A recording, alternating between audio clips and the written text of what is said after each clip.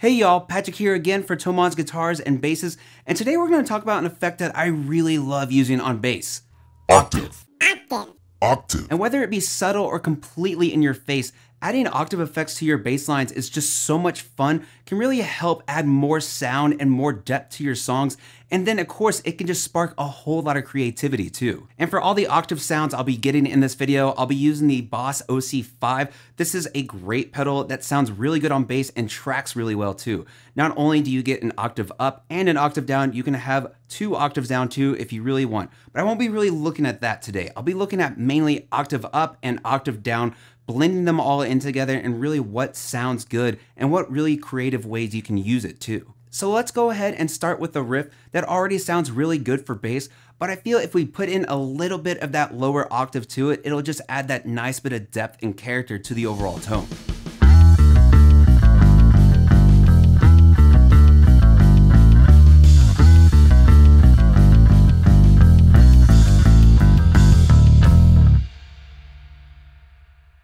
All right, cool. So let's go ahead and try adding an octave up as well to a completely different riff and see what that really sounds like.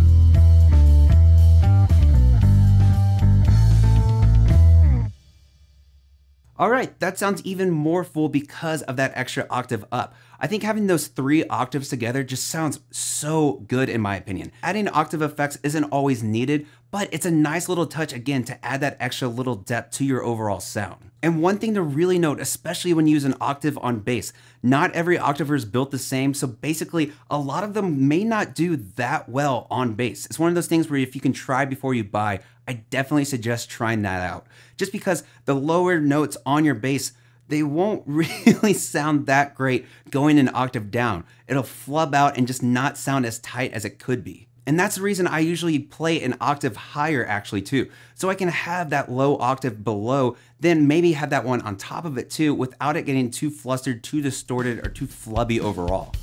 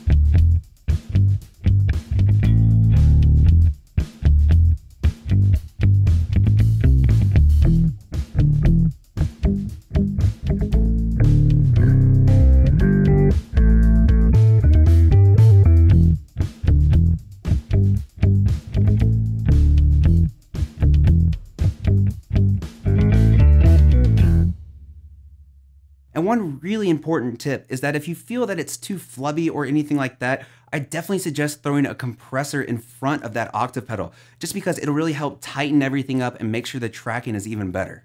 And one last thing to say about octave pedals that's just really fun, go ahead and throw a fuzz in front of it because it's just gonna sound nasty and huge and just so much fun to play around with too.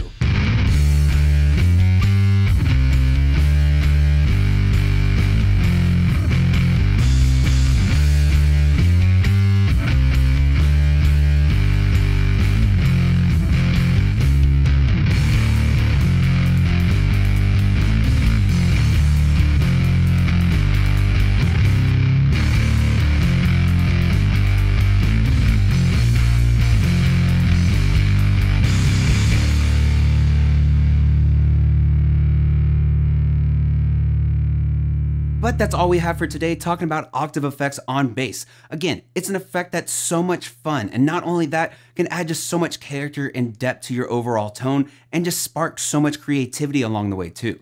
But of course, let me know what y'all think about octave effects on bass and what effects should we check out next.